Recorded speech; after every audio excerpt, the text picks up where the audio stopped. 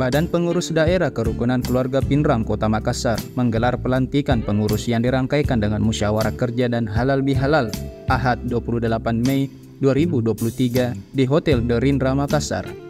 Dalam sambutannya, Bupati Irwan kembali berharap agar para pengurus dan anggota KKP dapat membangun komunikasi yang baik sehingga silaturahmi tetap terjalin di antara para warga Pinrang yang bermukim di kota Makassar. Di samping itu, Bupati Irwan tak lupa meminta kepada warga Pinrang yang tergabung dalam KKP untuk senantiasa menjaga nama baik Pinrang yang dikenal sebagai masyarakat yang sopan dan menghormati budaya dan kearifan lokal.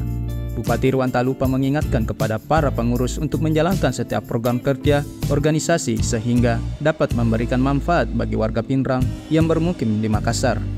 Pada kegiatan ini hadir Ketua KKP Pusat Abdillah Nasir yang melantik para pengurus unsur Porkopinda Kabupaten Pinrang dan para pengurus dan anggota BPD KKP Kota Makassar.